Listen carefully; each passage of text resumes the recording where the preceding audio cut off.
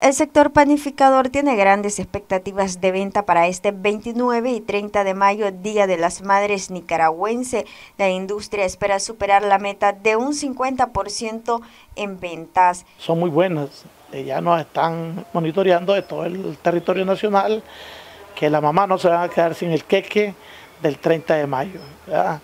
Ya pues prácticamente ya la industria está volcada, está ofreciendo los encargos, hay muchas empresas que están hasta el tope ya de, pedidos y entonces solo esperando que el que puede hoy o el que puede mañana, mañana es un feriado nacional, eh, no hay excusa, ¿verdad?, para sentarse con la mamá y exigirle al hijo, regalarme un quequito, aunque sea pequeñito, mediano o grande, y compartirlo pues con toda la familia, con los nietos, con los hijos, eh, con los yernos, con todo, ¿verdad? pero sí, eh, las expectativas son muy buenas, Esperamos superar la meta que es vender más de un millón de pasteles en todos los tamaños. Normalmente las ventas en el mes de la madre pues aumentan en un 50%. Eso es producto de que en todo el mundo pues, a la madre se le celebra ese gran día.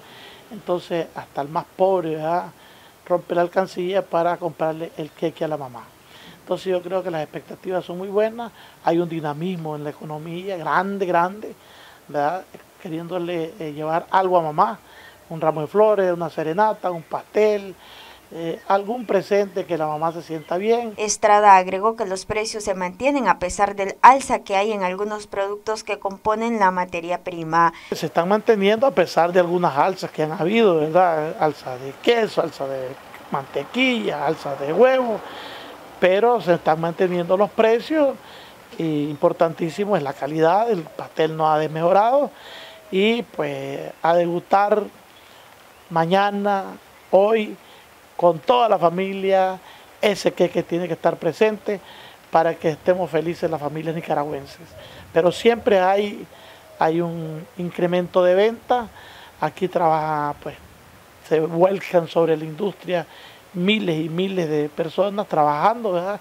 Entonces creo que el Día de la Madre es un día tan festivo para celebrarlo, no solo a quien estamos agasajando, sino que todos los trabajadores que están inmersos en esta gran industria de pastelería y panaderías. Noticias 12, Darlene